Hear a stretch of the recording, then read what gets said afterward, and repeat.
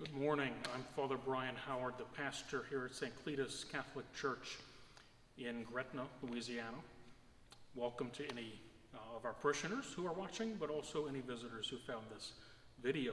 What we'll be doing today is blessing these vestments. The Ladies Club purchased these vestments for the church to use for uh, solemnities and feast days where it will be appropriate, especially around Christmas, around Easter, and as we are coming up in just a few days on the Solemnity of Christ the King, the last Sunday in Ordinary Time, when we celebrate the kingship of Christ as King of the universe, we are going to celebrate using these vestments, and so we need to bless them first.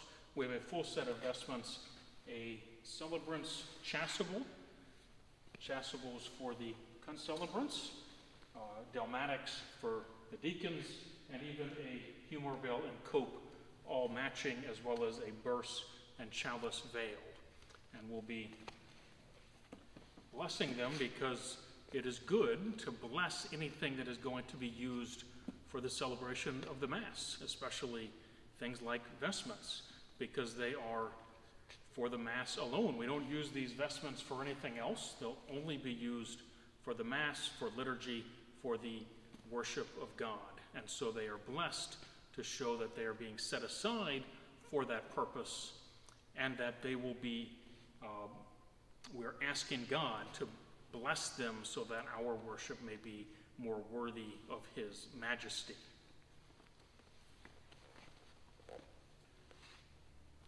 In the name of the Father, and of the Son, and of the Holy Spirit. Our help is in the name of the Lord, who made heaven and earth. The Lord be with you, and with your spirit. Let us pray. O Almighty everlasting God, thou didst ordain of old through Moses thy servant that the sacred vesture of high priest, priest, and Levite be worn to dignify and beautify the worship of thee. Wherefore, mercifully give heed to our supplications, and through our lowly ministry deign to purify, bless, and consecrate these priestly vestments, bestowing thereon thy consecration, that they be made fitting for the service of thy holy mysteries. Let every bishop, priest, or deacon vested with them be guarded and defended from all assault or temptation of wicked spirits, and help them to celebrate thy mysteries reverently and well, thus ever rendering unto thee a pleasing service and devout. Through Christ our Lord. Amen. Let us pray.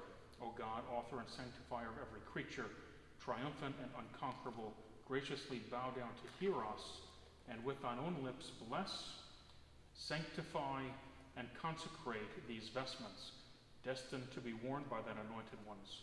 Clothed with them, may they celebrate thy mysteries devoutly and praiseworthily, and thus become beloved of thee, through Christ our Lord. Amen. Let us pray. O Lord God omnipotent, who didst command Moses, thy servant, to see to the making of sacerdotal vesture for the worship of the former covenant, and didst inspire him with wisdom to perfect thy wish. Vouchsafe to bless, sanctify, and consecrate these vestments to thy holy service. Clothed with them, may the ministrants of thine altar be filled with the sevenfold grace of the Holy Spirit, and endowed with the stole of chastity, that, serving thee faithfully, they may be rewarded finally with a blessed immortality through Jesus Christ, thy Son, our Lord, who liveth and reigneth with thee in the unity of the same Holy Spirit, God eternally. Amen.